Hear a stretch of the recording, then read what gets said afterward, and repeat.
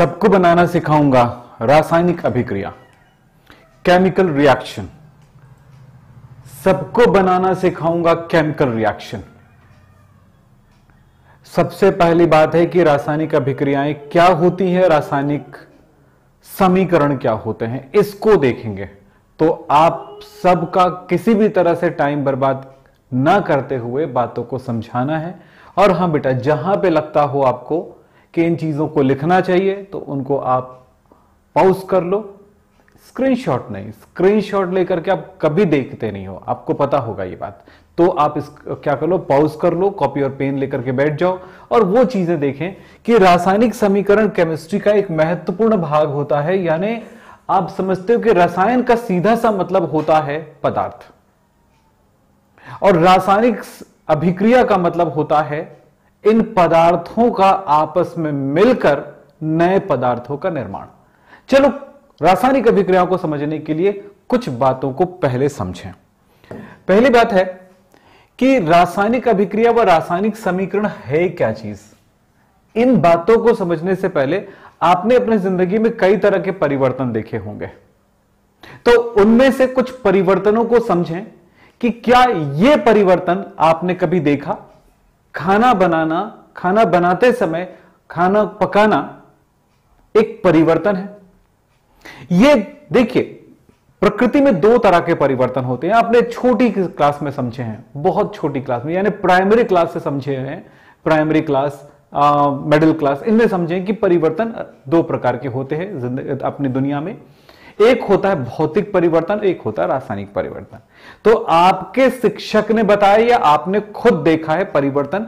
जैसे कुछ परिवर्तन, जैसे हम भोजन पकाते हैं, खाना पकाते हैं। क्या यह कोई परिवर्तन है? हम परिवर्तन दो तरह से बात करते हैं, रासायनिक परिवर्तन और भौतिक परिवर्तन। भौतिक परिवर्तन में क्या होता है? पदार्थ जो है, वो अपनी अवस्थाएँ परिवर्तित करती हैं। अपना रूप परिवर्तित करती और ये एक तरह से उत्क्रमणी होता है, यानी दोनों दिशाओं में चलता है। ए से अगर पदार्थ बी बन गया तो बी से ए बन जाएगा। जैसे एक लाइट ऑन करते हो तो जैसे ही लाइट ऑन करे, उसको करंट मिलती है, वो प्रकाशित होने लगता है। जैसे स्विच ऑफ़ करते हो, उसको करंट मिलना बंद होता है इलेक्ट्रिसिटी ऊर्जा मिलना बंद होता है, और वो बुझ जाती है। ये प्रक्रिया आप कई बार कर सकते हो, कोई परिवर्तन कुछ नहीं होता, ये भौतिक परिवर्तन है। बर्फ़ का पिघलना, बर्फ़ का पिघलने से वो जल बनता है, जल से फिर बर्फ़ बनता है। ये द्रव और ठोस में परिवर्तन, एक भौतिक परिवर्तन। तो कुछ परिवर्तन हम देखें। जब हम खाना पकाते हैं तो खाना में कुछ, आपने देखा होगा कि वो हार्ड से नरम हो जाता है, एक भौतिक परिवर्तन को दर्शाता है। लेकिन ये व्युत्क्रम नहीं होता है व्युत्क्रम नहीं होता है। तो यहाँ पर मुख्य रूप से रासायनिक परिवर्तन होते हैं। आप भोजन में उसके स्वाद में भी परिवर्तन आ जाता तो ये केमिकल परिवर्तन है। केमिकल को सी से मैं दर्शा दूँ, इसको भौतिक को physical physical change and chemical change तो इसमें कौन सा प्रकार का परिवर्तन होगा? केमिकल चेंजेस होता है जब खाना बनाया जाता है। फिर बात करते हैं यहाँ पे कि बर्फ़ का पिघलना। बर्फ़ का पिघलना कौन सा परिवर्तन है? आपको पता है बर्फ़ को अगर शून्य डिग्री से अधिक से अधिक तापमान पर ले जाया जाए तो वो क्या हो जाएगा? पिघलने लगेगा, ठोस से द्रव में परिवर्तित होने लगेगा। लेकिन क्या द्रव को फिर से ठोस में परिवर्तित नहीं कर सकते? कर सकते। फिर तापमान को कम कर दो, फिर वो ठोस में परिवर्तन हो जाएगा। वहाँ पर जो केमिकल है, केमिस्ट्री है, यहाँ पर केमिस्ट्री केमिस्ट्री क्या चीज़ है? इनमें, इसमें केमिस्ट्री है H2O की, जिसको पानी, जिसकी तीन अवस्थाएँ होती हैं, ठोस, द्रव, गैस। ये वाष्प कहलाता है, वेपर कहलाता है। ये जल कहलाता है और ये यहाँ पर इसके लिए H2O के लिए ये बर्फ़ कहलाता है। देखिए, कम ताप पर, देखो, यहाँ पर ये देखेंगे, कम ताप और अधिक ताप। अब कम ताप की स्थिति में आप जानते हो कि यहाँ पर रेंज है ज़ीरो डिग्री सेल्सियस से हंड्रेड डिग्री सेल्सियस तो इस परिवर्तन को बोला जाएगा, एक भौतिक परिवर्तन है फ़िज़िकल चेंज है। बातों को समझते जाना, मैं रासायनिक अभिक्रियाओं को सिखाते हुए चलूँगा, आपको एक एक चीज़ समझ में आएगा कॉपी में ज़रूर लिखिएगा, अभी लिखने की कोई ज़रूरत नहीं है। तो हमने देखा खाना पकाना एक रासायनिक परिवर्तन है, जबकि ये ठोस से बर्फ़ में परिवर्तित होना, पिघलना, बर्फ़ का पिघलना या द्रव का बर्फ़ में परिवर्तित होना एक भौतिक परिवर्तन है। यहाँ पर देखें, पानी का उबलना जल का उबलना यह कौन सा परिवर्तन है? यहाँ पर लिक्विड से गैस बन रहा है वाष्प बन रहा है। ये पानी पानी ये भाई अभी भी H2O है।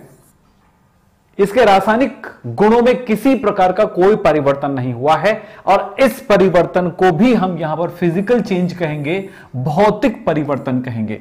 यहाँ पर हुआ भौतिक परिवर्तन, यहाँ पर हुआ रासायनिक परिवर्तन हमने देखा ये तीन परिवर्तन। अब देखो इसमें लोहा आपको नज़र आ रहा होगा। लोहे पे जंग लगना भी नज़र आ रहा होगा। ये लोहे पे जंग लगना, हम यहाँ पर जानते हैं कि यहाँ पर तापमान में परिवर्तन करके हम वापस प्राप्त कर सकते हैं इनको। लेकिन अगर लोहे में जंग लग गया तो उसे प्राप्त करने का तरीका यह नहीं होगा कि तापमान में परिवर्तन करें या इसके पानी निकाल दें तो यह फिर से वही बन जाएगा। यहाँ पर एक दिशा में परिवर्तन हुआ है और यह हुआ क्या है कि लोहा जो है आयरन जिसको कहते हैं आयरन जो परिवर्तित हो गया है Fe3O4 में, किससे?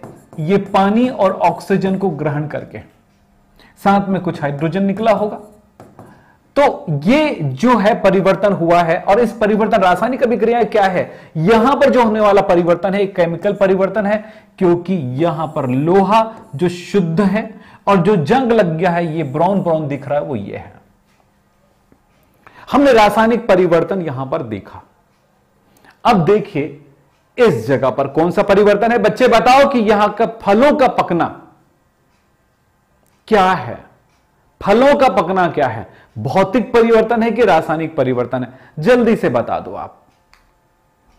एक बच्चे ने लिखा है कि मैंने टेंथ में 90 परसेंट मार्क्स पाया है। बिल्कुल वेरी गुड बेटा, बहुत अच्छी बात है, मनीष कुमार ने। आपको बधाई।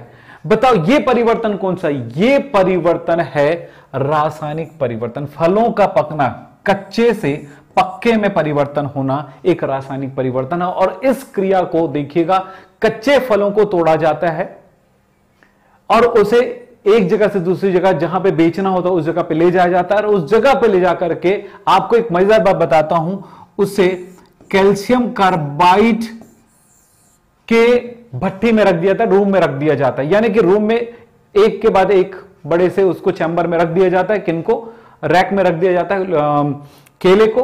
और उस रूम में थोड़ी सी कैल्शियम कार्बाइड को पेपर में लपेट के अगर जगह जगह पर रख दिया जाता है और वहाँ पर निकलती है, इनकी जल से क्रिया होने पर बनता है C2H2 एसिटिलीन गैस और ये बन जाता है। ये रिएक्शन क्या होता है, इसके बारे में बात करूँगा बाद में। तो ये इस तरह से फलों को पकाने में मदद करता है। एक तरह का केमिकल हार्मोन का काम करता है ये, कृत्रिम हार्मोन का काम करता है। लेकिन यहाँ पर पेड़ पौधों में जब पक रहा हो तो वहाँ पर उसे पकाने के लिए किसी तरह का कोई रसायन उपयोग होते हैं।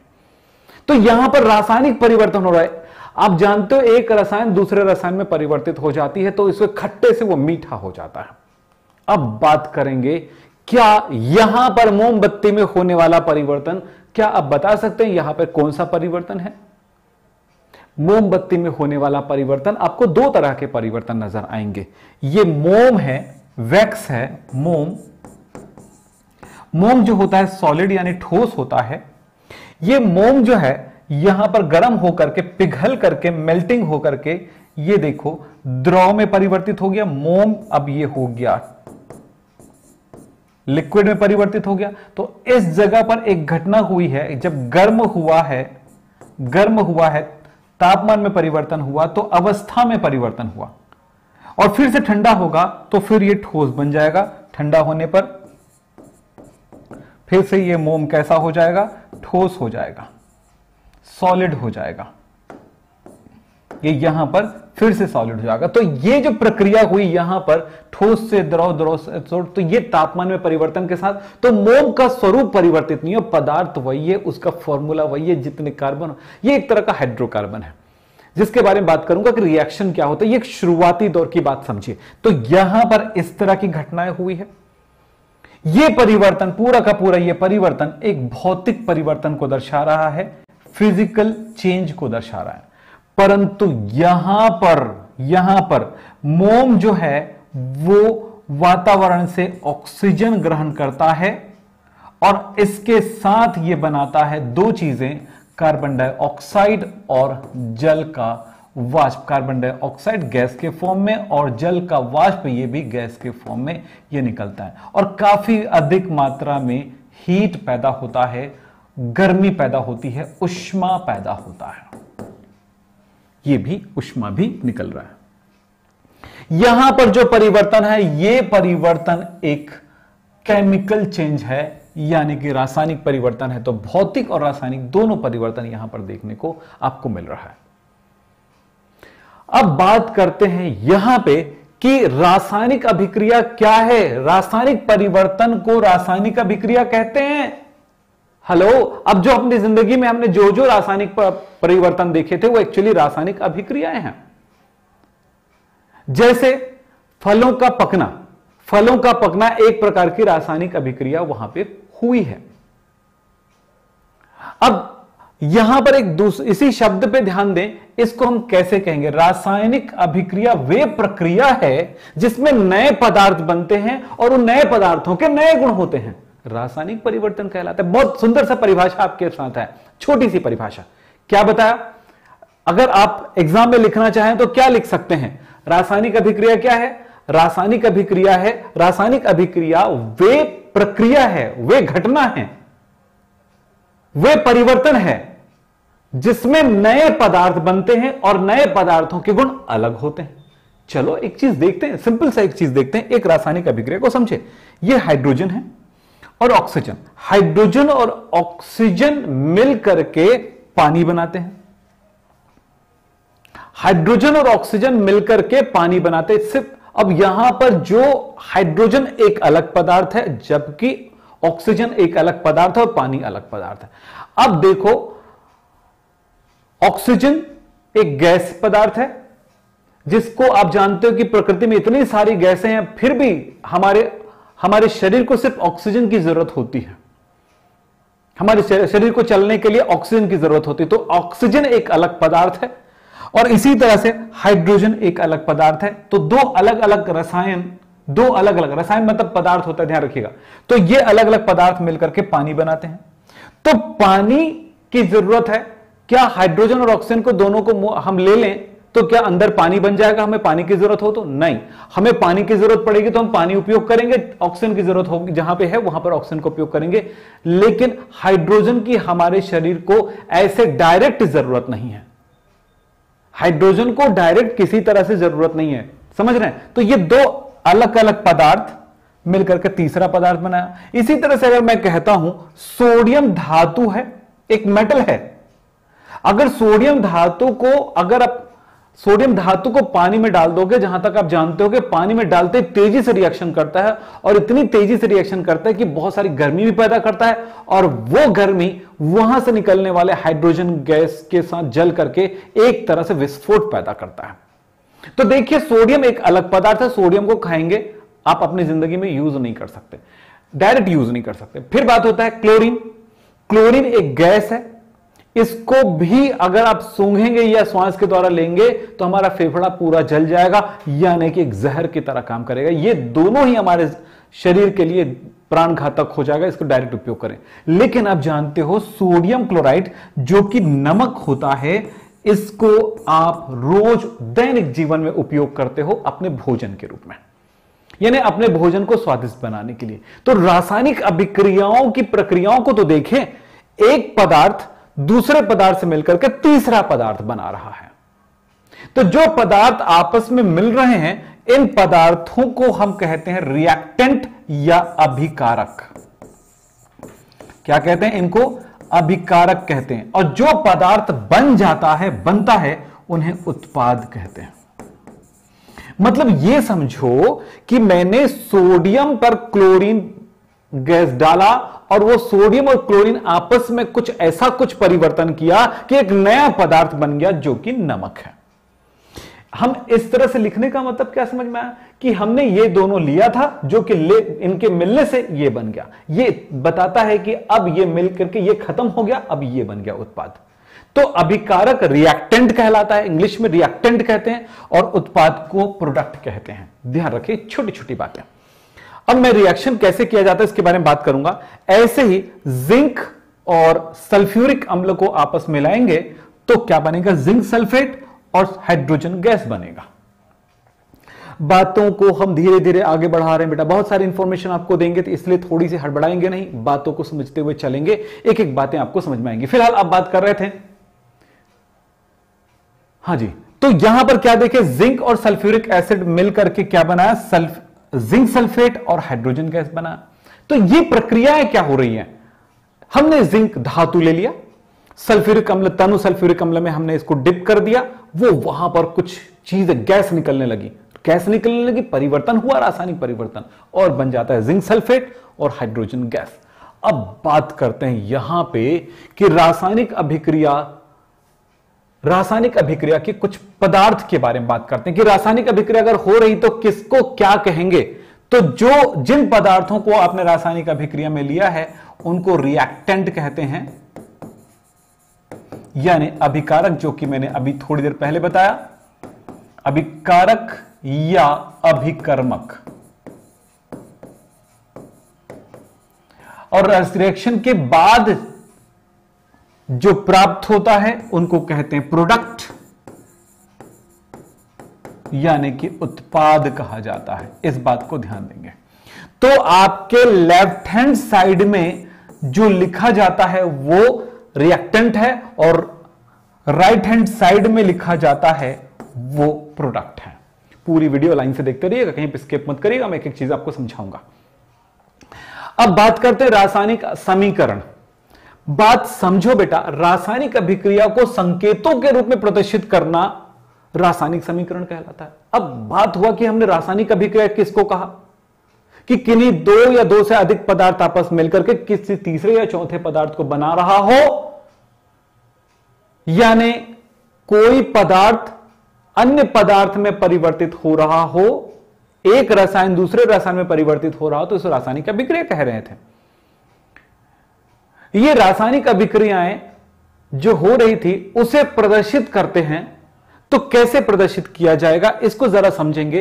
रासायनिक समीकरण तो उनको संकेतों के रूप में प्रदर्शित करना रासायनिक समीकरण कहलाता है। तो देखो, यहाँ पर मैंने किस तरह प्रदर्शित किया है?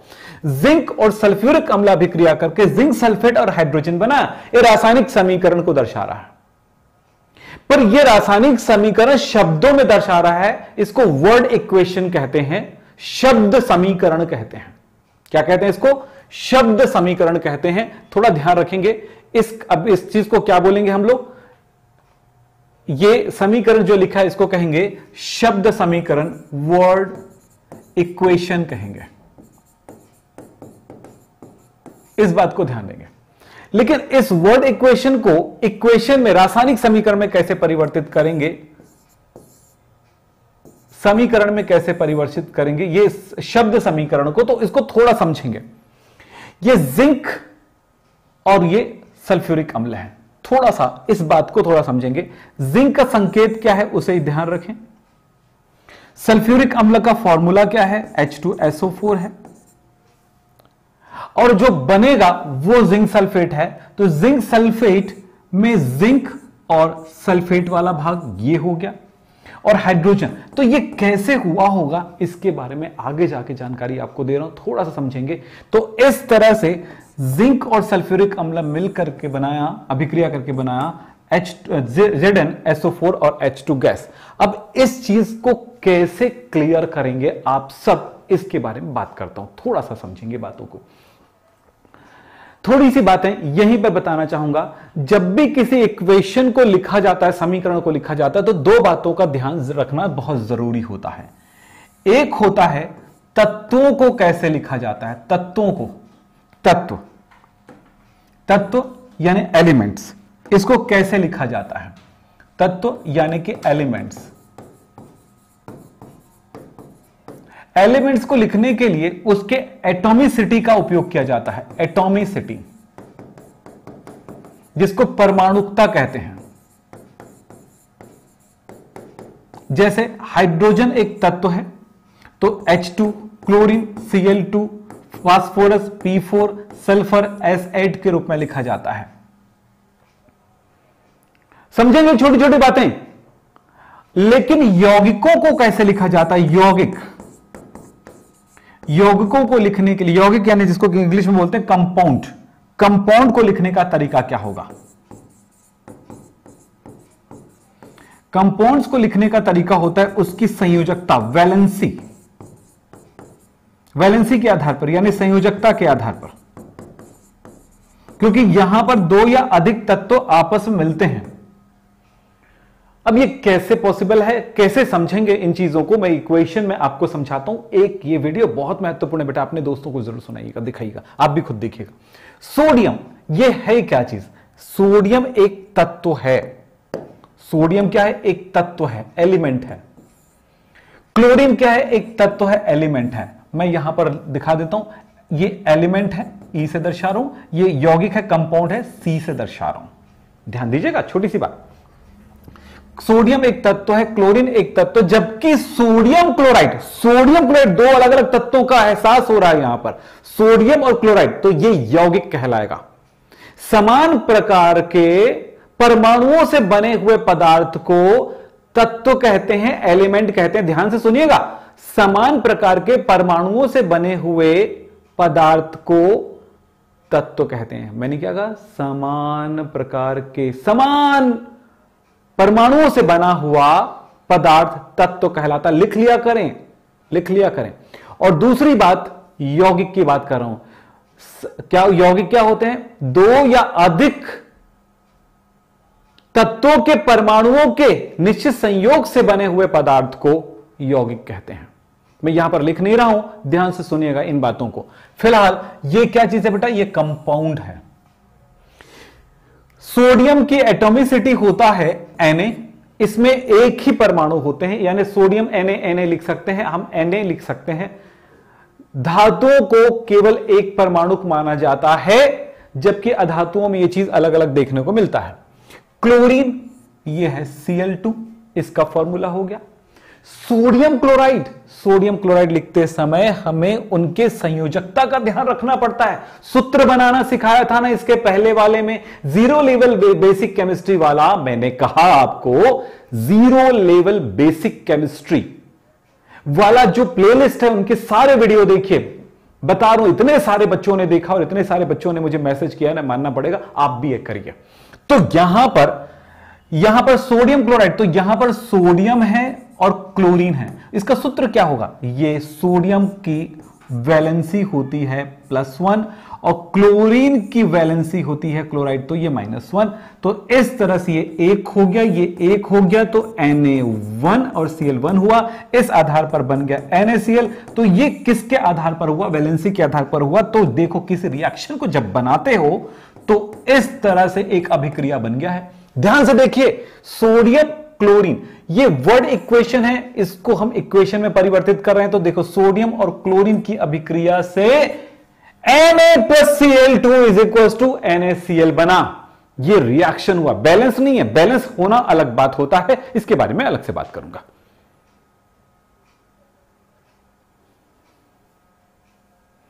तो क्या आप सबको बातें समझ में आ रही है? अपने दोस्तों को ज़रूर शेयर करिएगा। तो यहाँ पर सोडियम और क्लोरीन की रिएक्शन तो ये एक रिएक्शन को दिखा रहा है। ये रिएक्शन के इक्वेशन को दर्शा रहा है, यानी कि रासायनिक। तो ये क्या कहलाएगा? वर्ड इक्वेशन और ये कहलाएगा केमिकल इक्वेशन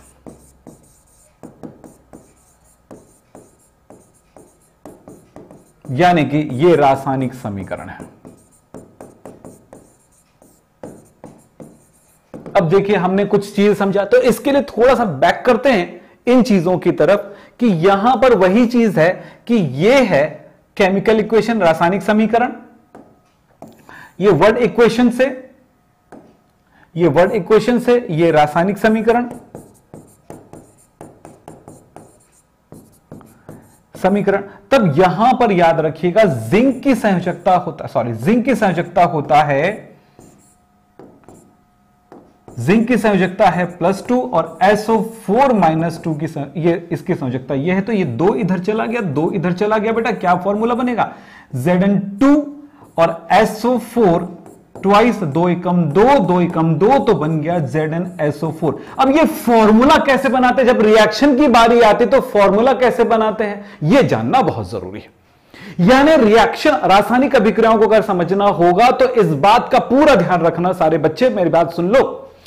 अगर रासायनिक अभिक्रिया और रासायनिक समीकरणों को समझना है किसमें पूरी केमिस्ट्री के अंदर जाकर के जो सबसे बड़ा तकलीफ़ होता है तो इसके लिए पूरा ज़ीरो लेवल की बेसिक केमिस्ट्री को जानना बहुत ज़रूरी होता है। आप जानते हो, चाहे इलेवंथ पढ़ो, चाहे ट्वेल्थ पढ़ो, वहाँ पर चैप्टर वन या ज़ीरो चैप्टर नहीं होता है। वो चैप्टर वन से स्टार्ट होता है और सीधा आगे पहुंचाता है। तो आप ऐसा कोई स्कूल में या ट्यूशन में ऐसा कोई क्लास या ऐसा कोई कोर्स नहीं होते हुए देखेंगे जिसमें ज़ीरो लेवल की पढ़ाई होती होगी। यह हमारे यूट्यूब में होता है ज़ीरो लेवल की पढ़ाई। यानी यह बात समझ लो कि ज़ीरो लेवल की पढ़ाई से ही आप इलेवंथ पढ़ पाएँगे, ट्वेल्थ पढ़ पाएँगे और यही नॉलेज सबसे बड़ा नॉलेज होता है। क्योंकि अब कुछ नहीं है तो कुछ तो आना पड़ेगा ना। तो यहाँ पर मैंने फॉर्मूला बनाना सिखाया था कुछ एक दिनों पहले। आपको याद होगा, उस वीडियो को ज़रूर देखिएगा। नीचे डिस्क्रिप्शन बॉक्स में उस ज़ीरो लेवल बेसिक केमिस्ट्री का मैंने लिंक दे दिया है, उसको आप ज़रूर आप पूरा पूरा पढ़िएगा। जो बच्चे इस बात को नहीं समझ पा रहे तो आगे समझने के लिए इस बात की बातें बातें बताता हूँ कि यहाँ पर मैं संयोजकता की बात करूँगा, क्योंकि वैलेंसी या संयोजकता बहुत ज़रूरी है। संयोजकता की बात करूँगा, संयोजकता इनकी फटाफट याद रखिएगा। पहले वर्ग के तत्वों के लिए प्लस वन दूसरे वर्ग के तत्वों के लिए प्लस टू तीसरे वर्ग के तत्वों के लिए प्लस थ्री फिर ये plus minus four minus three minus two minus one and zero तो आपको मैं अगर यहाँ पर लिख दूँ कि एल्यूमिनियम की संयोजकता क्या है तो आप प्लस थ्री लिख दीजिएगा। और ये सेल्फ अगर मैं ऑक्सीजन की बात करता हूँ तो ऑक्सीजन की माइनस टू है। और इस तरह से इन दोनों की अभिक्रिया से एल्यूमिनियम और ऑक्सीजन की क्रिया से बनेगा। क्या बनेगा यह सोचना है। तो यहाँ पर अभिक्रिया कितना आसान हो जाएगा, जरा समझेंगे। एल्यूमिनियम की संयोजकता ये और ये इसकी संयोजकता ये तो ऐसे ऐसे मिलकर के क्या बनेगा? एल्यूमिनियम के पास दो और ऑक्सीजन के पास थ्री हो गया। इस तरह से एक रासायनिक अभिक्रिया बनते। ये टेबल आपको बहुत मदद करेगा। फिर आगे चलते हैं।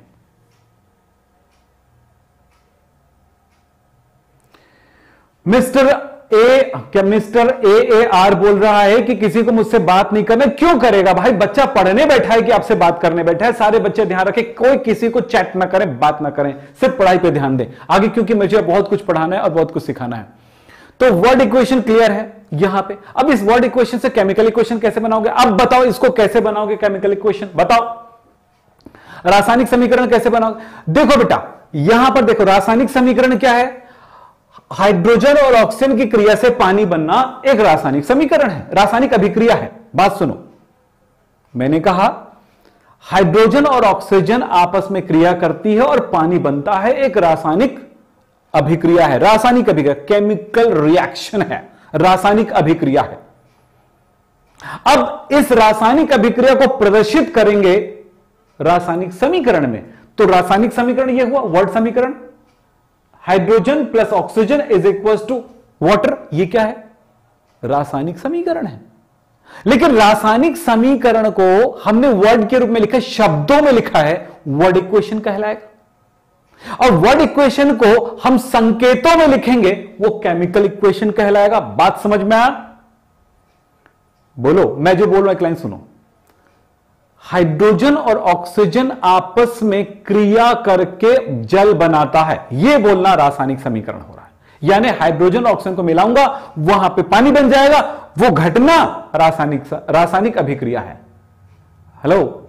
खाना बनना रासायनिक अभिक्रिया है। खाना बनना रासायनिक अभिक्रिया मोमबत्ती का जलना रासायनिक अभिक्रिया है। लोहे पर जंग लगना रासायनिक अभिक्रिया है। हाइड्रोजन और ऑक्सीजन की क्रिया से पानी का बनना भी रासायनिक अभिक्रिया है। यस ये रासायनिक अभिक्रिया है। अब अब, इस चीज़ को इस तरह लिखना रासायनिक अभिक्रिया नहीं, रासायनिक अभिक्रिया का रासायनिक समीकरण है। शब्दों पे ध्यान देंगे, है ना? शब्दों पे ध्यान देंगे। ये रासायनिक अभिक्रिया है। अब रासायनिक अभिक्रिया को शब्दों में लिख लिया रासायनिक अभिक्रिया को शब्दों में लिखने के बाद उनको संकेतों में लिखना रासायनिक समीकरण कहलाता है। तो चलो संकेतों में लिखें। हाइड्रोजन होता है। एच इसकी ये तत्व है। तो तत्व के ये तत्व है, ये भी तत्व एलिमेंट है और ये क्या चीज़ है? कंपाउंड है। तो तत्व का हाइड्रोजन को एच टू एटोमिसिटी कितनी होती है इसकी? एच टू टू होता है। ऑक्सीजन का भी क्या होता है? O2 होता है। और ये बन गया पानी। पानी का फॉर्मूला क्या होगा? H2 और ये पानी कैसे बना? पानी का H2O क्यों हुआ? क्योंकि हाइड्रोजन की संयोजकता एक ऑक्सीजन की माइनस टू ये दो और ये एक। एच H2O बेटा। ये चीज़ हमारी नॉलेज के पहले क्लासेस में हो चुका है। इससे पहले जो क्लास लिया था ना फॉर्मूला बनाने वाला, उसमें मैं करा चुका हूँ। कुछ क्लासेस के पहले देख लीजिएगा। अब बात हो रही है कि ये रिएक्शन में लिख दूँ। H2 plus O2 gives H2O रासायनिक समीकरण हो गया यार, हो गया। अब ये छोटी सी बात बच्चों को भारी पड़ता है। क्यों? क्योंकि हमने इस लेवल से पढ़ना शुरू किया ही नहीं है। हमने सीधे जंप मारे हैं भाई। ग्यारहवीं और बारहवीं में रिएक्शन लिखो रिएक्शन लिखो, छापो कॉपी में, याद करो। फिर ला, जाके एग्ज़ाम में लिख दो, लिखने के बाद घर आओ तो पता नहीं कि क्या किया हमने। ये स्थिति आई है, इसीलिए परेशानी है। फ़िलहाल अब आगे चलते हैं। अब मैं आपको बताना चाहूँगा, एक बहुत ज़रूरी बात, ये रिएक्शन तो लिखे हमने, परंतु ये इस रिएक्शन को 100 परसेंट क्या हम सही मानेंगे? O2 is equal to H जो लिखा है, इस रिएक्शन को कंप्लीट मानेंगे? बिल्कुल कंप्लीट नहीं मानेंगे। यहाँ पर एक शब्द आता है, रासायनिक समीकरण को संतुलित करना इक्वेशन बैलेंसिंग आज नहीं चालू गया? कहाँ है? हम्म, चलिए। बोलिए। तो समझ में आई बातें आपको? यहाँ पे क्या बोलेंगे? अब ये तो रिएक्शन हो गया। अब एक शब्द आता है इक्वेशन बैलेंसिंग रासायनिक समीकरण को संतुलित करना मतलब क्या होता है? यहाँ पर आप देखो right hand left hand side left hand side and right hand side दोनों तरफ़ आप एक चीज़ देख रहे हो कि क्या समान तत्वों की संख्या बराबर है? हाइड्रोजन यहाँ पर दो है, इस तरफ़ दो है। ऑक्सीजन इस तरफ़ दो है, जबकि ऑक्सीजन एक हम ये जानते हैं, कुदरत का नियम ये जानते हैं कि पदार्थ को ना तो उत्पन्न किया जा सकता है और ना ही नष्ट। केवल वो रूपांतरित होती है, एक रूप से दूसरे रूप में। यानी जितने पदार्थ उपस्थित है, उतना ही रहेगा। वो चेंज खत्म नहीं होगा, ना हम उसे बना सकते हैं, किसी रासायनिक अभिक्रिया द्वारा। जब रासायनिक अभिक्रिया द्वारा बना नहीं सकते तो उसको संतुलित करना ज़रूरी है कि दोनों तरफ़ बराबर होना चाहिए। तो आपको बता दें, रासायनिक समीकरणों को संतुलित करने का क्या मतलब होता है? मैंने यहाँ पर परिभाषा में लिखा है।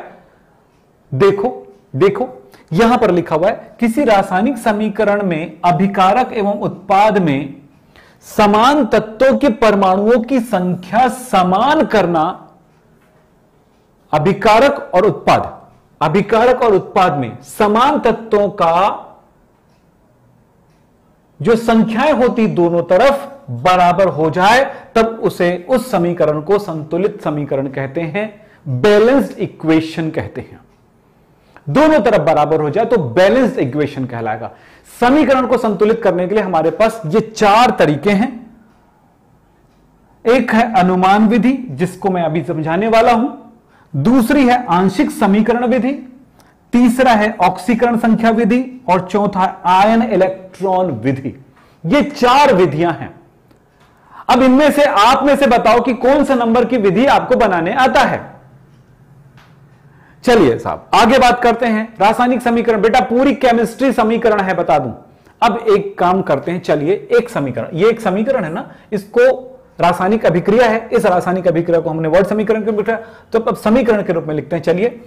तो आप जानते हो H two plus O two gives H two O क्या आप इसे बैलेंस कर सकते हैं? बहुत आसान है। क्या आप इसे बैलेंस कर सकते हैं? अब बैलेंस करने का तरीका क्या होगा? तत्वों के संख्याओं को बैलेंस करना। तो जरा देखें। सिंपल एक तरीका बताता हूँ, ज़्यादा लंबा चौड़ा बातें नहीं करूँगा। सिंपल कुछ बातें करूँगा, उसको ध्यान रखना है। चलिए, बोलिए।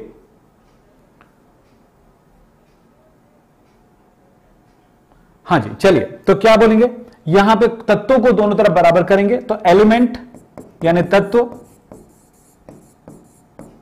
एलिमेंट्स यानी तत्व। मेरे पास तत्व कौन कौन से हैं? यहाँ पर हाइड्रोजन है और ऑक्सीजन है, जो दोनों तरफ़ रहता है है ना? ऐसा नहीं कि इधर ऑक्सीजन है, परंतु उधर ऑक्सीजन नहीं रहेगा। ऐसा कोई रिएक्शन नहीं होगा भाई। चलिए साहब, हाइड्रोजन और ऑक्सीजन है। अब इसमें लेफ़्ट हैंड साइड कौन कौन है और राइट हैंड साइड कौन कौन है? जरा समझो, कितनी मात्रा में अब देखो, दोनों को अपन देखें बैलेंस है कि नहीं चेक करें। चलो बताओ इस साइड, लेफ़्ट हैंड साइड, ये लेफ़्ट हैंड साइड है और ये क्या है? राइट हैंड साइड, यानी कि अभिकारक और उत्पाद में। तो बताओ, हाइड्रोजन इस तरफ़ कितना है? सिर्फ़ दो और उस तरफ़ कितना है? दो। हाइड्रोजन बैलेंस है, हाइड्रोजन बैलेंस है। अब ऑक्सीजन को चेक करो। बोलो। हाइड्रोजन अब ऑक्सीजन इस तरफ़ दो है और ऑक्सीजन केवल एक है। अब यहाँ पर आपको पता चल रहा है कि यह बैलेंस नहीं है, यानी कि संतुलित नहीं है, यानी बराबर नहीं है। बराबर नहीं है। तो बराबर होने के लिए क्या करना पड़ेगा? ध्यान रखना, बराबर करने के लिए हम ऐसा नहीं कर सकते कि यहाँ पर ऑक्सीजन भाई दोनों तरफ़ ऑक्सीजन बराबर करना है तो हमने क्या किया? ऑक्सीजन एच टू टू लिख दिया। तो बेटा ऐसा नहीं करेंगे, इससे फॉर्मूला परिवर्तित हो जाएगा, सूत्र परिवर्तित हो जाएगा, यौगिक चेंज हो जाएगा। H2O2 हाइड्रोजन परऑक्साइड हमें इन दोनों की अभिक्रिया से हाइड्रोजन परऑक्साइड नहीं मिलने वाला, हमें ऑक्सीजन पानी ही बनने वाला है, पानी मिलने वाला तो यह गलत हो जाएगा। तो क्या करें?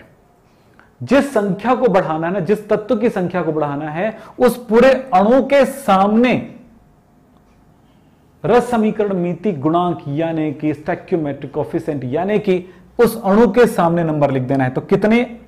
ऑक्सीजन इस साइड दो है। ऑक्सीजन इस साइड दो है और उस साइड कितना होना चाहिए? दो। तो मैं इसको दो करने के लिए मैं यहाँ पर दो कर दिया तो ये हो गया टू। ये कितना हो गया? एक से हो गया दो। एक से हो गया दो। अब ऑक्सीजन तो बराबर हो गया, लेकिन एक बड़ी बात हो गई इसके साथ साथ, ऑक्सीजन दो हो गया, ऑक्सीजन दो हो गया, परंतु हाइड्रोजन चार हो गया। यानी कि यहाँ पर यह हो गया चार, इधर चार हो गया, अब इस तरफ़ भी चार करना है तो आप हाइड्रोजन को दो हाइड्रोजन ले लो, टू एच टू ले लो तो हाइड्रोजन दो दूनी चार तो इस तरह से ये चार हो गया। अब बताओ, दोनों तरफ़ बराबर हो गया, चार चार दो दो। यानी हाइड्रोजन ऑक्सीजन बराबर हो गया। यही एक तरीका होता है सिंपल एक तरीका होता है रासायनिक समीकरण को संतुलित करने का। रासायनिक समीकरण को संतुलित करने के मैंने बहुत सारे स्पेशल ट्रिक वाले वीडियोस दिए हैं, बहुत गहरी वीडियोस दिए हैं। उसमें तीन क्लास में लगता है, तीन क्लास लगता है। और उन तीन क्लास के अंदर आप ऐसे ऐसे ट्रिक से समझेंगे कि आप जब उस पर प्रैक्टिस करोगे, पहले क्लास में ऐसा लगेगा, यार, ये तो बकवास है। दूसरे और तीसरे क्लास तक पहुँचते पहुँचते ऐसा लगेगा, यार, ये सुपर है, अपनी क्लास में क्विक बड़े बड़े प्रॉब्लम को सॉल्व कर लोगे। ये मैं आपको बता रहा तो उसको करना भरो एक बार ज़रूर। रासायनिक समीकरण संतुलित करने के लिए बहुत सारे समीकरणों के साथ हम काम कर सकते हैं। जैसे मैंने अगर आपको बोला, चलिए, ये कैल्शियम है और ये जल है है ना? और इन दोनों के रिएक्शन से बनता है कैल्शियम हाइड्रोक्साइड। ये लीजिए। क्या इसको संतुलित कर सकते हो? संतुलित करके बताओ, कितने बच्चों को लगता है कि संतुलित कर लेंगे? कोई अमित करके बच्चा है? है ना? पढ़ाई कर रहा है कि नहीं कर रहा है? हाँ जी, पढ़ाई कर रहा है बेटा तो पढ़ाई पे ध्यान दो, अमित। चलो, कैल्शियम और जल की क्रिया से यह बनता है। और साथ में एक और चीज़ मैं बता दूँ, यहाँ पर एक चीज़ और मुक्त होता है, वो है हाइड्रोजन गैस। संतुलित करना है। कैसे करोगे? दोनों तरफ़ सब कुछ बराबर होना चाहिए। अब बताओ, कैल्शियम एक कैल्शियम एक। ऑक्सीजन, हाइड्रोजन दो हाइड्रोजन दो और दो चार है।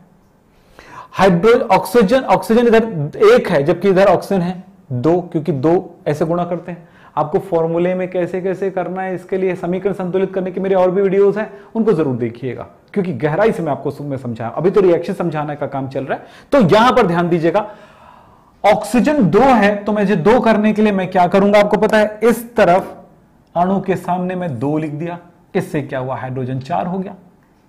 अब बताओ कैल्शियम एक कैल्शियम एक हाइड्रोजन चार हाइड्रोजन चार, दो दो चार और ऑक्सीजन हो गया दो। हो गया संतुलित। इस तरह संतुलित करना है। और क्या? ऐसे बहुत सारे रिएक्शन इसको संतुलित करने के तरीके हमें अपनाने हैं। इसी तरह से दोनों तरफ़ बराबर करना है। मैं शॉर्ट शॉर्ट में बहुत सारी चीज़ें बता रहा हूँ, ध्यान रखिएगा। अब बात करिए, आपको मैं दे रहा हूँ यहाँ पर कुछ होमवर्क इनको संतुलित करिएगा। यह आपके पास होमवर्क साथ में एक बड़ी चीज़ बता दूँ, मानसून सेल चल रहा है। जो बच्चे हमारे कोर्स के साथ आना चाहते हैं, जुड़ना चाहते हैं, उन बच्चों को एक काम करना पड़ेगा। हमारा गूगल सीट है, नीचे आप जाके फिल करिए। और ये अभी 40 परसेंट का बड़ा ऑफ़र है, बड़ा ऑफ़ चल रहा है।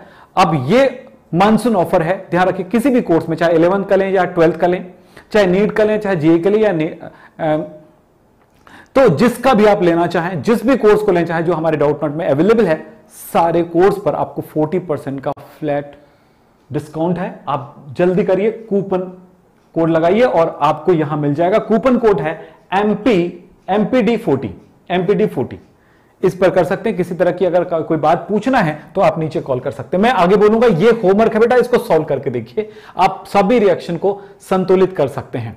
चलिए साहब, भौतिक अवस्था कैसे दर्शाई जाती है, इसके बारे में थोड़ी बात करते हैं। एक रिएक्शन है, आप जरा ध्यान दीजिएगा। हम जानते हैं कि हाइड्रोजन और ऑक्सीजन की क्रिया। ये रिएक्शन में लिख देता हूँ। हाइड्रोजन है ऑक्सीजन है और ये बनाता है पानी। आयरन और जल की क्रिया से बनता है एफ़ थ्री ओ फोर और यहाँ पर एक और बातें कह दूँ। हाइड्रोजन गैस मुक्त हो जाएगा। यहाँ पर जिंक और ये इनकी क्रिया से सी टू और ये बन जाता है हाइड्रोजन गैस मुक्त हो जाता है। समीकरण संतुलित करना मैंने बताया आपको संतुलित करना है इनको। अभी मैं संतुलित करने की बात नहीं करूँगा, अभी मैं बात करूँगा कि इसके अवस्थाओं को कैसे दर्शाया जाता है। समझो, अवस्थाओं के लिए तो कितने कौन कौन सी प्रकार की अवस्था होती है? ठोस, यानी कि सॉलिड द्रव, यानी कि लिक्विड और गैस सॉलिड ठोस को दर्शाने के लिए एस द्रव को दर्शाने के लिए लिक्विड और गैस को दर्शाने के लिए जी तब इस जगह पे आप बताइए हाइड्रोजन क्या है? ये रिएक्शन है एक। मैं इसको संतुलित रूप में लिख देता हूँ, चलिए। ये लीजिए। अब एक रिएक्शन है, संतुलित रूप में। ठीक है। अब यहाँ पर एक अभिक्रिया हो रही है। इस अभिक्रिया में हमें सामने वाले को इंफॉर्मेशन देना है कि ये चीज़ ठोस है, ये गैस है और ये लिक्विड है तो क्या करा जाता है? देखिए सिंपल एक बात बताता हूँ यहीं पे। हाइड्रोजन एक गैस होता है तो ब्रैकेट में जी लगा देंगे साइड में। ऑक्सीजन एक गैस है, इसको दर्शाएँगे। अब इस अभिक्रिया के दौरान काफ़ी उष्मा भी उत्पन्न होती है और काफ़ी ये जो गैस, ये जल जो बनेगा लिक्विड फॉर्म में नहीं बनेगा उस टाइम पे। जब बनेगा तो ये गैस फॉर्म में बनेगा, भले इसको ठंडा करने के बाद वो द्रव बन जाए, यानी लिक्विड बन जाए। तब इस जगह पर मैं इसको दर्शाऊँगा। गैस के रूप में। ऐसे ही आयरन लोहा सॉलिड होता है, यहाँ पर जल वाष्प प्रवाहित किया जाता है, बहुत गर्मी के साथ इसको प्रवाहित किया जाता है। ये वाष्प जब इस तरह से प्रवाहित किया जाता है, तब क्या होगा? तब की स्थिति में ये यहाँ पर वाष्प यानी गैस के रूप में प्रवाहित किया जाएगा। तो ये बनेगा Fe3O4 बनेगा, जो कि सॉलिड है, और उस टाइम गैस मुक्त होती है। जिंक एक सॉलिड है, जिसमें हम लिक्विड HCl द्रव मिलाते हैं, यानी हाइड्रोक्लोरिक अम्ल मिलाते हैं तो ZnCl2 बनता है। ये सॉलिड होता है और ये गैस है। तो ठोस द्रव गैस को भी इस तरह दर्शाया जाएगा। रिएक्शन बहुत ज़्यादा इंफॉर्मेटिव हो जाता है, बहुत सारी जानकारी देती है। बेटा एक काम करेंगे, जल्दी से लाइक कर दें यार अच्छा लगेगा।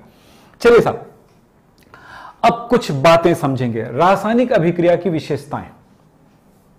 रासायनिक अभिक्रियाओं की क्या विशेषताएँ? मतलब कोई रासायनिक अभिक्रिया हो रही है, कैसे पहचानेंगे?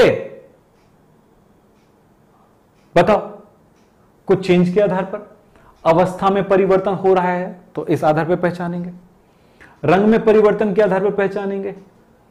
मतलब उसकी विशेषताएँ क्या है? रासायनिक अभिक्रिया होती है, कुछ परिवर्तन होते हैं। जैसे अवस्था में परिवर्तन होता है, रंग में परिवर्तन होता है, गैस मुक्त होती है, ताप में परिवर्तन हो जाता है अवक्षेप बनने लगता है।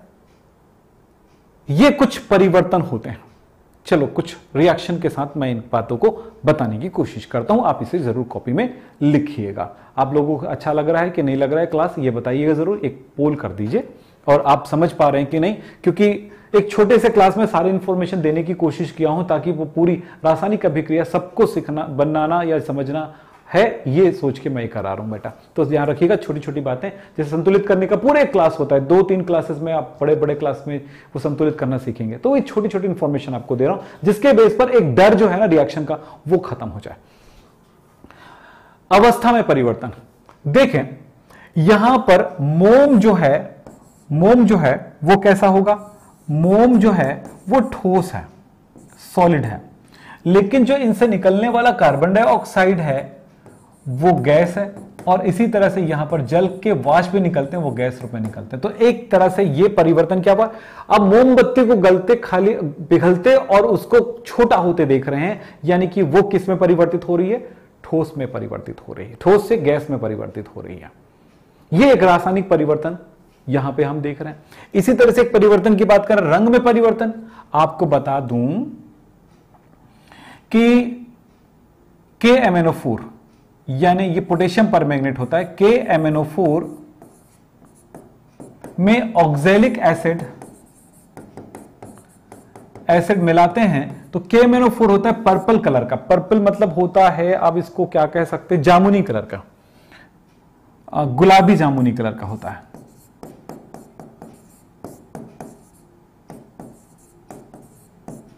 तो ये रंगहीन हो जाता है रिएक्शन के टाइम ये एक परिवर्तन देखें। गैस मुक्त होना, जिंक धातु को HCl अम्ल में प्रवाहित कर दें या डाल दें H2SO4 में डाल दें। चलो H2SO4 में डाल देता हूँ तो रिएक्शन होगा। जिंक ने हाइड्रोजन को हटाया और वो खुद जुड़ गया, जिंक SO4 बन गया। हाइड्रोजन निकल गया। भाई फॉर रिएक्शन कैसे होता है? मैंने आपको बताया था ना, कैसे फॉर्मूला बनता है, कैसे रिएक्शन होता है? वही है कि यौगिक में वैलेंसी यूज़ होता है और और तत्व होता है तो एटोमिसिटी होती है। तो इस आधार पर, ये देखिए तो यहाँ पर ये गैस मुक्त हो रही है। गैस, ये सॉलिड है, ये लिक्विड है और ये सॉलिड है। ताप में परिवर्तन। अगर आपने पानी में डाल दिए हो, सोडियम धातु तो यह बनाता है NaOH प्लस हाइड्रोजन गैस और तेज़ी, क्या हुआ? गैस भी निकला और काफ़ी मात्रा में उष्मा निकलता हीट निकलता है। ताप में परिवर्तन होता है रासायनिक समीकरण के साथ। फिर बात करते हैं अवक्षेप का बनना। अवक्षेप बनने की प्रक्रियाओं को समझो कुछ इस तरह से कि के एनओ थ्री के आई के साथ रिएक्शन कराता हूँ मैं। पोटेशियम आयोडाइड की अभिक्रिया के NO three sorry potassium iodide की क्रिया लेड नाइट्रेट से कराते हैं पी बी एनओ थ्री से कराते हैं। तो क्या होता है, ये पी बी की संयोजकता दो है बेटा। तो ये के आई के साथ मिल जाएगा तो क्या बनेगा? पी बी आई टू बन जाएगा। मैं बताया था ना? और एनओ थ्री की संयोजकता कितनी होती? है एक के के साथ एक तो क्या हुआ? के और एनओ थ्री मिल जाएगा। के एनओ थ्री बैलेंस कर दूँ अब इसको। दो बार के और दो बार एनओ थ्री ये लो आई टू तो ये है ठोस अवस्था में आ जाता है, ठोस में आता है तो नीचे बैठ जाता है। अवक्षेप का मतलब होता है कोई ठोस पदार्थ जो उस सॉल्यूशन में घुल नहीं पाता है तो नीचे बैठ जाता है ठोस रूप में, अघुलनशील पदार्थ के रूप में। तो इसको कहते हैं अवक्षेप या प्रेसिपिटेट कहते हैं।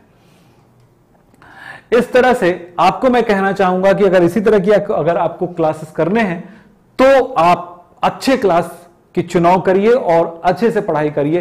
पढ़ाई आपके लिए इंटरेस्टिंग होनी चाहिए, पढ़ाई गहराई में होनी चाहिए एक एक बातें आपको समझ में आना चाहिए। इसके लिए हमने कोर्स लिया है, हमने बनाए हैं कोर्स वो है डाउट नट में हमारे कुछ कोर्सेज चल रहे हैं इलेवंथ के ट्वेल्थ के नीट के जेई के और एनडीए के। तो इन क्लासेस में कोई भी क्लास चाहे नाइन्थ टेंथ जो भी क्लास आप लेना चाहते हो, हमारे डाउट नट पर अभी 40 परसेंट का ऑफ़ चल रहा है। कूपन कोड है हमारे पास MP MPD forty monsoon offer है तो आप इसके साथ आप आ सकते हैं, हमारे साथ आ सकते हैं। और एक बात याद रखिएगा, हमारा इसके लिए एक काम करिए ज़रूर गूगल शीट नीचे दिया गया, उसको फिल करिए।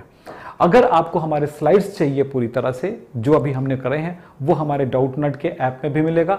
और यही स्लाइड हमारे विक्रम सर हैप केमिस्ट्री टेलीग्राम चैनल में भी मिलेगा।